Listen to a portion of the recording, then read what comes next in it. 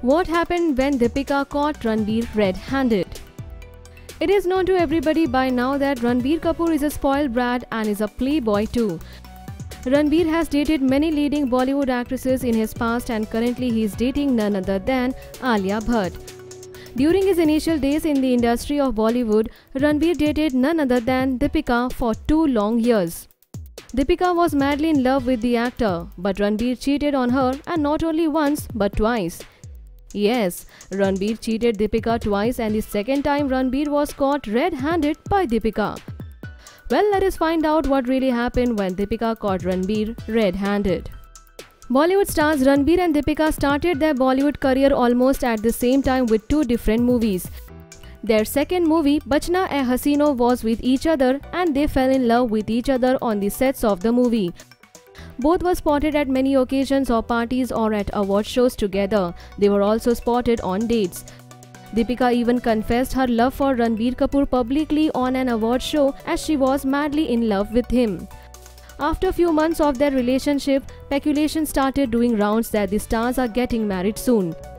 There were also reports that Neetu Kapoor never liked Deepika and did not want her to be their bahu.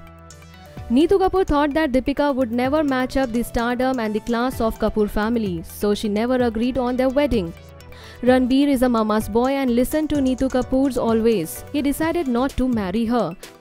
Ranbir is a womanizer and a playboy too so he did not want to settle down at that age and was not sure about his love for Deepika.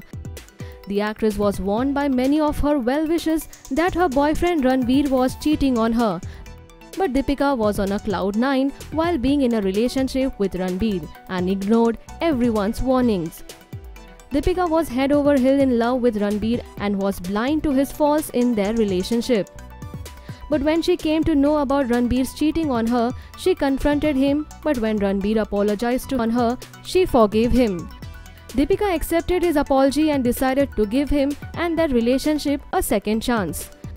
But Ranbir failed miserably keeping his words and being a playboy again cheated on Deepika. But this time Deepika caught Ranbir red-handed with none other than another Bollywood actress Katrina Kaif she had a major fight with Ranbir and ended their relationship. Later, the actress revealed that she loved him so much that she gave him second chance too, but Ranbir still played with her feelings. Deepika added that she hates infidelity the most as it breaks all the trust for a person in just few moments. She said Ranbir was not loyal with her at all and denied to marry her, hearings to his mother Neetu Kapoor. The Chhapak actress went into depression for a long period of time after her breakup with Ranbir.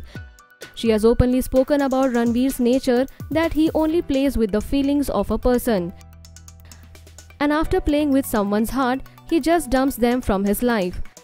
Ranbir has done the same thing with Bollywood actress Katrina Kaif.